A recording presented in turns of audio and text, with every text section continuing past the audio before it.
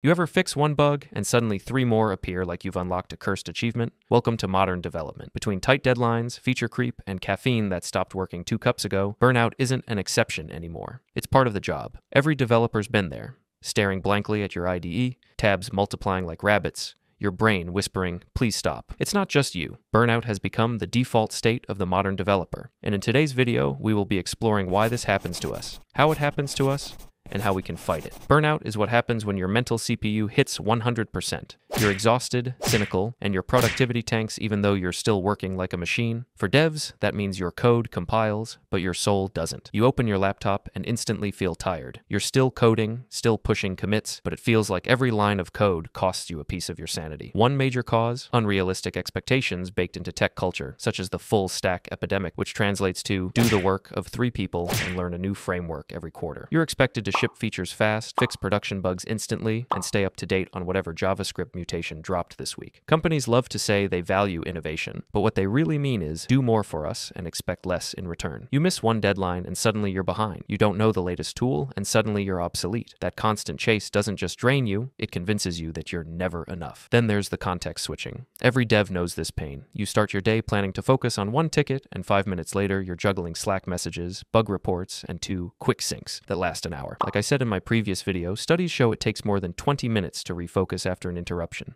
which means your entire day is just mental rebooting. You're not lazy, you're just stuck in a constant alt tab loop between tasks. Another silent killer is lack of recognition. You fix a production bug at 2 a.m. and no one notices. Big whoop, wanna fight about it? You push one bad commit and suddenly it's an incident report. When you're doing your job right, it's invisible, but when something breaks, it's chaos. And I know it's basically like this in every other field, but that imbalance slowly chips away at motivation. You start wondering why you even bother if nobody sees the invisible firefighting you do every day. And let's not forget the boundary problem. Remote work was supposed to give developers freedom, but it mostly erased the line between work and life. You log off from your job and immediately open your personal side project. You answer Slack on weekends and tell yourself it's just five minutes. Developers love saying they have flexible hours, but really, they're just working all of them. Add to that the classic imposter syndrome, feeling like everyone else is smarter, faster, and somehow not losing their minds. You scroll through LinkedIn, see people building AI startups in their free time, and wonder why you're struggling to fix a merge conflict. But here's the secret Everyone's faking it. We're all Googling the same Stack Overflow threads from 2014 and talking to the same three AI chatbots. That constant comparison just turns normal exhaustion into guilt. You're not just tired, you feel like a failure. The reason burnout never goes away is because the industry still glorifies it. Hustle culture is everywhere.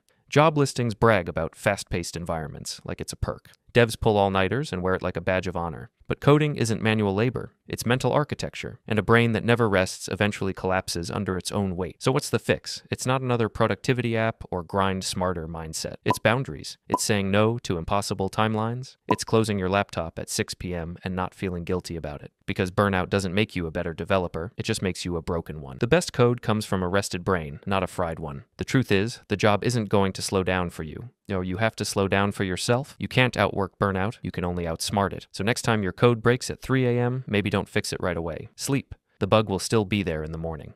This was Codehead with yet another tech rant. If you enjoyed it, please leave a like and subscribe. Lights out.